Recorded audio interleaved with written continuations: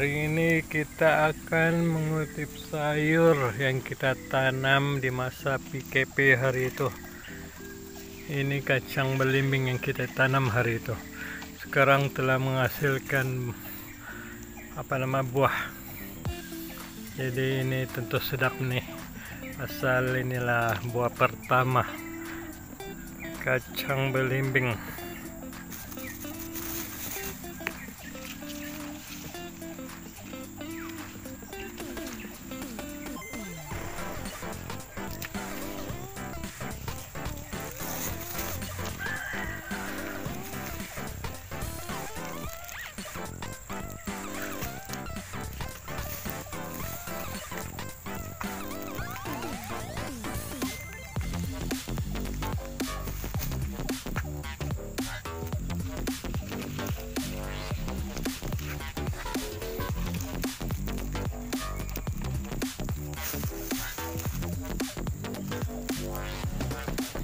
Kacang belimbing ini boleh juga ditumis dengan apa?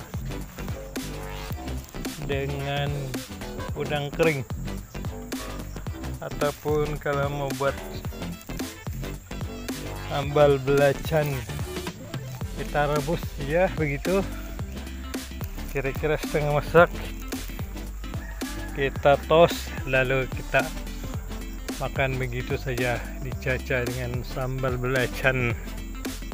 Kawan saya bilang dengan ini saja pun boleh habis tiga.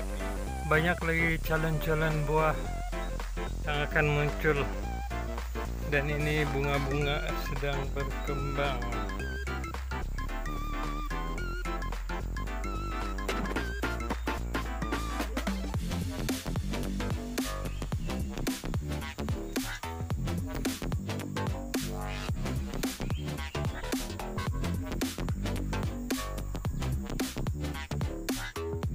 terong pun sudah berbuah.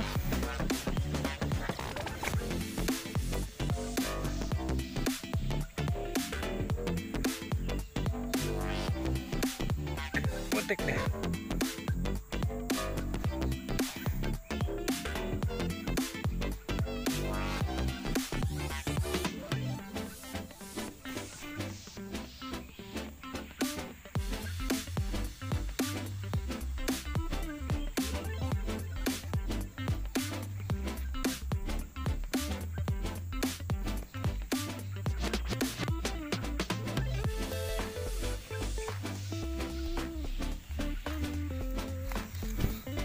Oh ini ada tapi belum besar.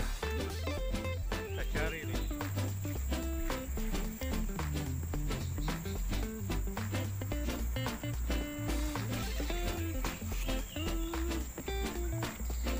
Tidak bawa pisau. Paksa diputar-putar. Mau ditarik ke atas takut tercabut pokoknya.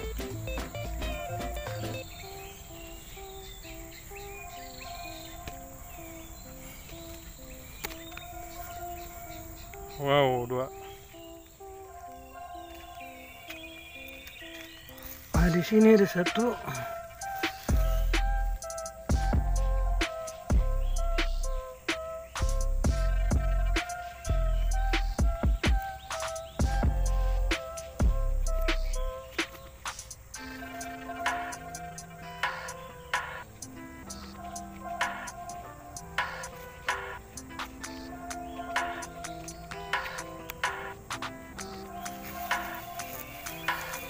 So hari ini dapat tiga biji strong. Cukuplah.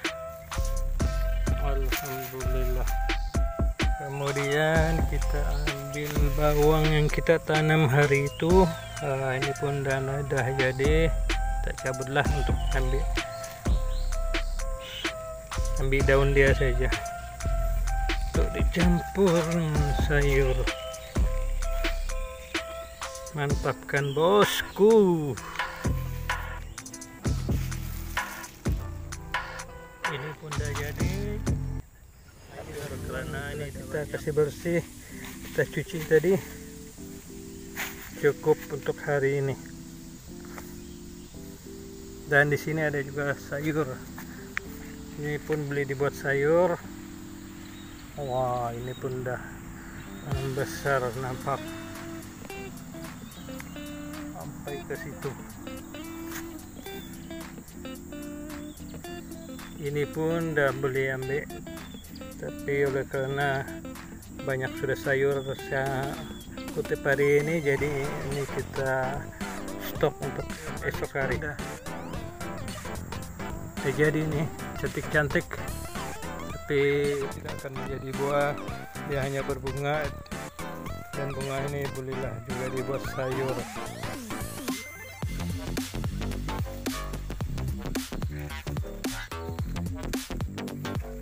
satu udah jadi ini adalah calon-calon buah. Rendah ya. Mungkin dalam masa dua bulan tiga bulan depotek sudah hasil pertama. Maka kita punya kunyit pun dah subur Alhamdulillah ini juga sayur manis. Pun sayur manis ya panjang. Sayur ini dan jadi.